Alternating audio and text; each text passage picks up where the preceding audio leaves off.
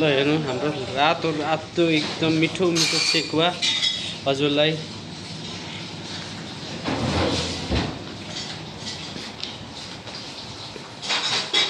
हाम्रो यो भट्टीमा बनाइ गरि बनाइने गरिन्छ। ल।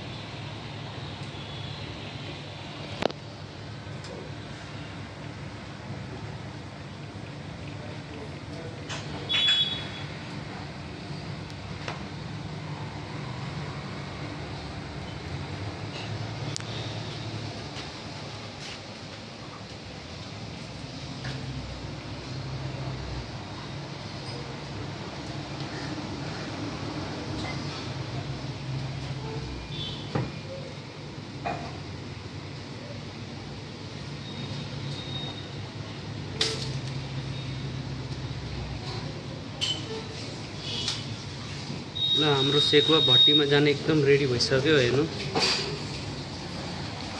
हाम्रो भट्टी खुल्यो है। यसरी आगो आगोमा बनाइन्छ दाउरामा हेर्नु सक्नुहुन्छ। ल हाम्रो स्पेसल सेकुवा है। ल आउनु होला धन्यवाद। च्यानललाई सब्सक्राइब गरिदिनु होला